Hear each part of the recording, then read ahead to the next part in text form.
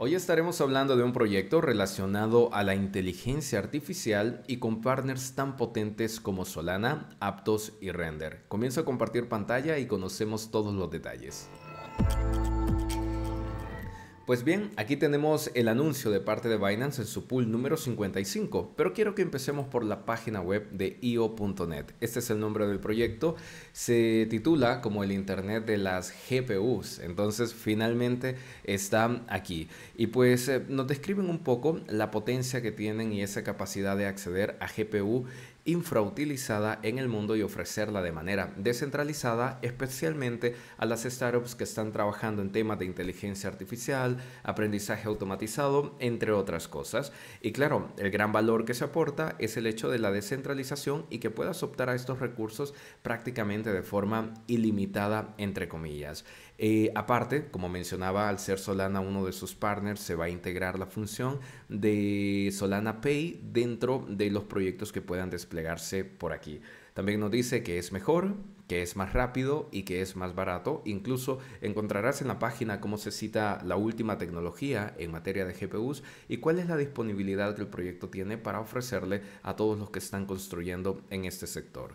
100 veces más GPUs y mejor que los competidores. Menciona y resalta algunas características como el acceso global a la GPU, eh, como la mejor en la clase de chips que se van a escoger para todo esto, proceso de flexibilidad, sustentable y también es ultra seguro. Y como mencionaba, parte de los partners que están apoyando a este proyecto, aparte de la misma Binance, que por eso es que hay una pool, tenemos a Solana Aptos y a The Render Network. Y pues bien, les estaré dejando esta página para que ustedes luego profundicen más en el proyecto y en estas características para que se fijen cuál es el aporte y yo creo que puede resultarle interesante a personas que se andan moviendo en este sector y buscando algunas oportunidades. Empecemos entonces viendo cómo será el tema de, la pool. Como siempre, eh, podemos participar en BNB y con BNB, perdón, y con FDUSD. Esta moneda saldrá a cotizar el 11 de junio de este año a las 12 del UTC. Eso sería 6 de la mañana hora de Honduras. Cualquier cotización que tú veas antes de este tiempo probablemente sea una estafa. El, el periodo de farming inicia el 7 de junio a las 00 UTC. Esto en hora hondureña fue el día de ayer, 6 de junio a las 6 de la tarde.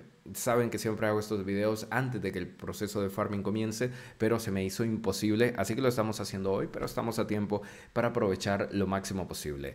Eh, los pares de cotización, como dije, aparecen el 11 de junio y habrá con FDUSD, USDT, BNB y lo típico.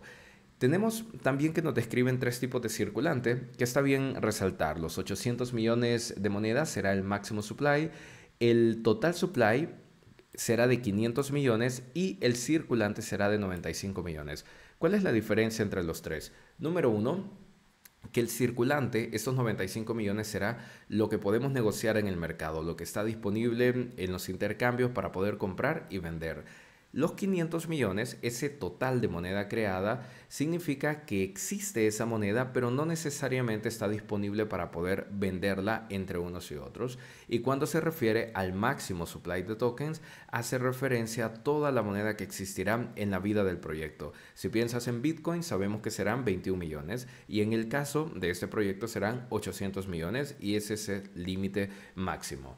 Entonces, conociendo estos detalles, vamos a ver cómo se participa vas a venir a la sección de más, luego de Launchpad y Launchpool de Binance y te va a traer aquí a la lista de, pools y eh, el io.net será el único que esté disponible y podemos participar en las dos pools al mismo tiempo si queremos o solo una de las dos. Como siempre, BNB reparte más recompensas pero se llena más y FDUSD reparte menos y a veces se llena menos y el ratio de recompensa es mayor con FDUSD. Eso es bastante curioso. Entonces, eh, para hacer staking simplemente le das clic aquí, pones la cantidad de BNB que gustes y tu recompensa se va a empezar a acumular en esta sección. Yo también acabo de empezar hace poco, no había puesto nada de BNB, pero igualmente si tu BNB estuviese en Bolt, eh, significa que siempre te está cosechando estas recompensas. Las puedes reclamar acá, no va a hacer ninguna diferencia, o si no reclamas nada, Binance te la va a enviar a tu cuenta Spot unas dos horas antes de que empiece la cotización de la moneda y a partir de ahí decides si venderla, holdearla, comprar más o lo que gustes. Veamos entonces ahora detalles de su propuesta de valor.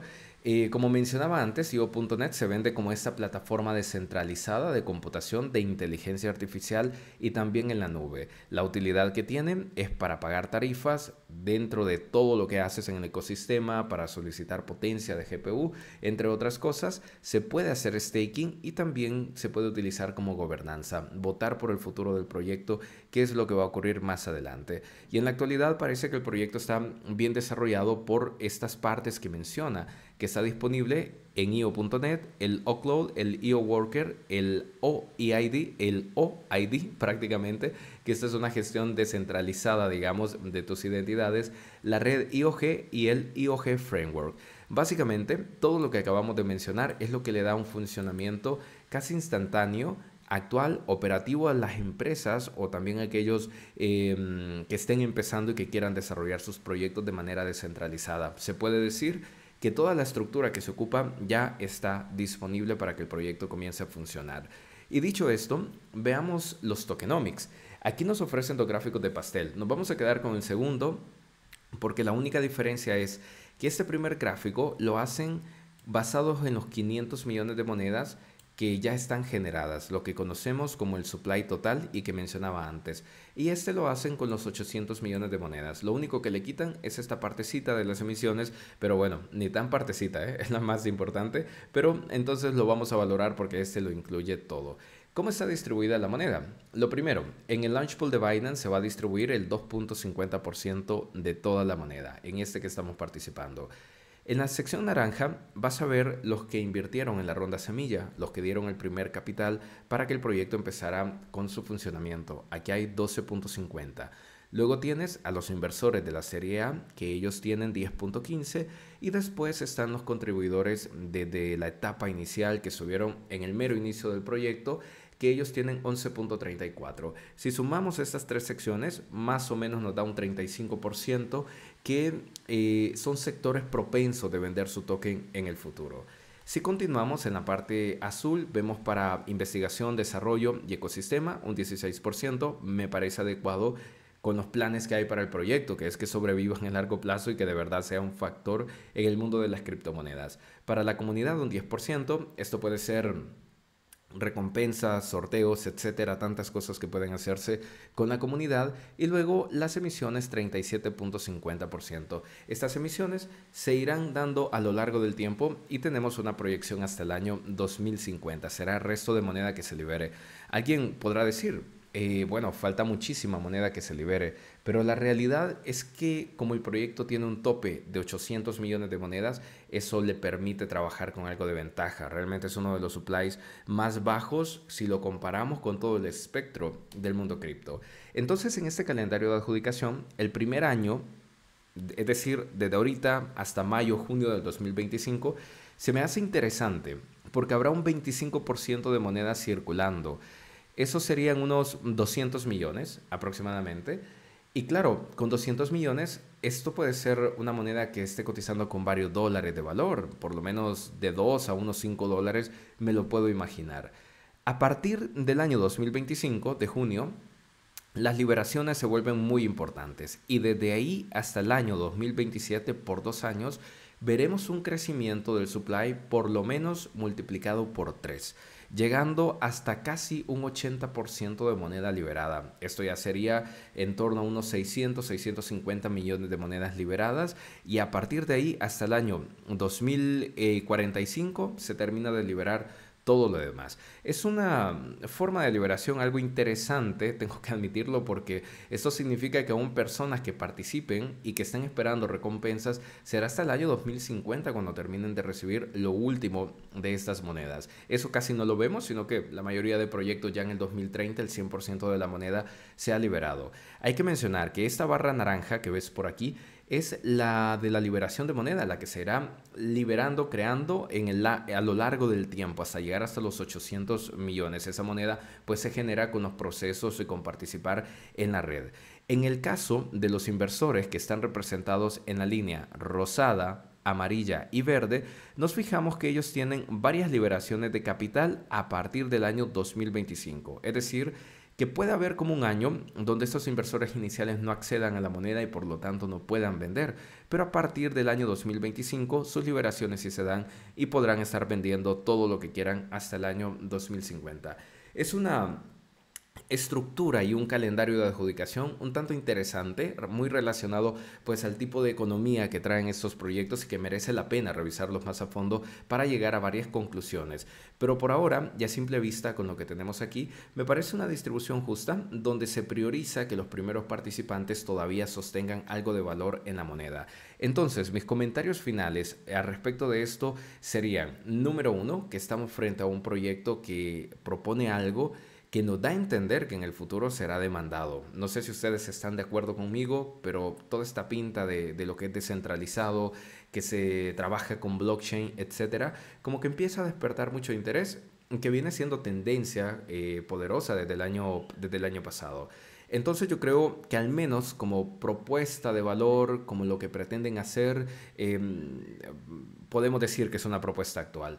Número dos, los partners que tiene, pues el hecho de que estén Binance, Solana, Aptos, Render detrás, nos da a entender que es un proyecto en el que vieron cualidades, cosas interesantes y por lo tanto están dispuestos a apoyar. Esto no es una garantía de que vaya a salir bien en el futuro, pero sin duda entretener a esta gente de tu lado o no tenerla, mucho mejor tenerla porque significa que hay algo que estás haciendo bien. Y por último, la parte de los tokenomics. La verdad que para hacer un proyecto de 800 millones de monedas está en el punto bajo. Y si estos proyectos llegan a ser muy, muy exitosos, Estamos hablando que valen cientos de dólares en el futuro. No sé si nos vamos a llevar una sorpresa en el momento de salida, como con Omni, que la moneda empezó a cotizar en 50, 60 dólares por el tipo de tokenomics que tiene, porque son similares. Pero eh, en el caso de esta moneda en una condición normal, lo mínimo en que te puede cotizar es de unos 2 a 5 dólares en su momento de salida. Ya cualquier otra valoración que esté mucho más arriba de eso, pues será una sorpresa, pero también yo la entendería. Y bueno, básicamente un proyecto interesante, me gusta que tenga esa clase de partners y ya veremos qué ocurre cuando salga a cotizar, dependiendo cómo se estén moviendo sus comunidades, eh, cómo reaccione también el mercado, que casi siempre al inicio es con una venta súper masiva, una venta muy muy pesada, después de esa venta, si el valor mm, llega a ser bueno, pues yo no descartaría incluso que sea una moneda que quiera tener en mi portafolio, pero todavía hace falta valorar más cosas, ver cómo se pone en práctica y a partir de ahí tomar una decisión que me comprometa más en el largo plazo. Así que bueno, mis amigos, este video lo dejo hasta aquí. Estaré encantado de conocer su opinión en la cajita de comentarios. ¿Cuál es su estrategia? ¿Le llama la atención este proyecto o usted prefiere irse con otras alternativas que hay actualmente en cripto? Que la pase muy bien y le deseo un gran fin de semana.